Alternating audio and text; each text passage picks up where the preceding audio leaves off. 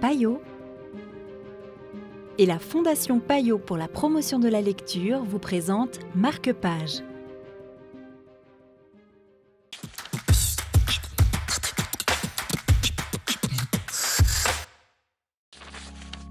Bonjour et bienvenue dans Marque-Page. Aujourd'hui, nous vous présentons Le pouvoir du tricot de Napoléonie Loretta aux éditions Albin Michel.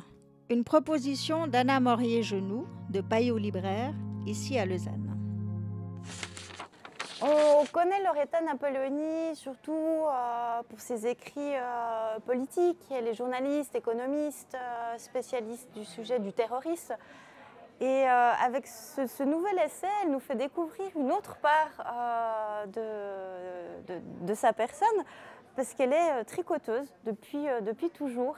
Et là, c'est un essai historique, sociologique, qui va nous faire découvrir au, fil des pages des, moments clés de l'histoire du monde et aussi euh, ce qu'on fait, celles, et surtout celles, on parle du tricot, c'est quand même beaucoup, euh, beaucoup plus les femmes, celles, ces petites mains qui étaient derrière différents événements. Et euh, voilà, je dirais ce, côté essai historique, mais aussi, et ça on le sait, le, tricot, il y a un côté très thérapeutique, un côté presque méditatif quand on le fait, elle en parle très très bien, mais aussi un côté très social. Euh, de, je ne veux pas parler de gang de tricoteuses, mais des fois, voilà, il y, a quand même ce côté de, club et d'appartenance. Est-ce qu'il suffit de détricoter pour tout recommencer alors en tricot, oui. Je pense dans la vie, c'est plus compliqué, mais en tricot, oui. Il faut détricoter euh, pour recommencer. Et vous-même, vous tricotez? Oui, je suis euh, une tricoteuse, en effet. D'accord, merci beaucoup. Merci. Le tricot a permis aux femmes de jouer un rôle majeur dans la construction de la société et de la famille.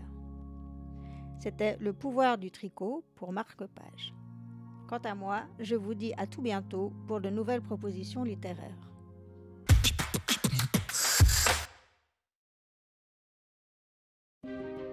Payot et la Fondation Payot pour la promotion de la lecture vous ont présenté Marque-Page